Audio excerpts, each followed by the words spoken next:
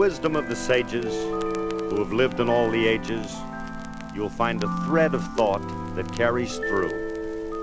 And if you'll only take a good look through the pages of the good book, you will find what was behind their point of view. You see, they took an interlude for gratitude, for the sight of moonlight and the warmth of the sun, and things that are shared by everyone. Every morning when you climb out, just stop and take some time out to thank the man upstairs. So thank your mother and your hard-working dad, and think of the time they must have had. On the road to fame and glory, just save some oratory to thank the man upstairs.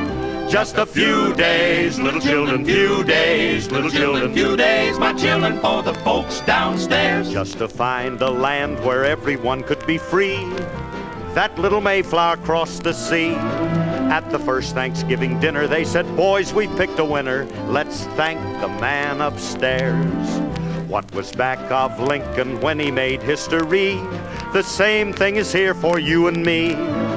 When you face your darkest hour, you know where to go for power. Just thank the man upstairs. It'll be a new day, little children, new day. Little children, new day was made for all the folks downstairs. When things looked hopeless, think of General George. And what did he do at Valley Forge?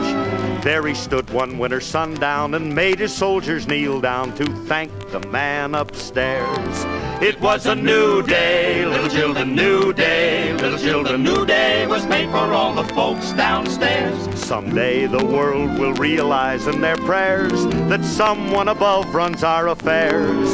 So every night before you slumber, for blessings without number, just thank the man.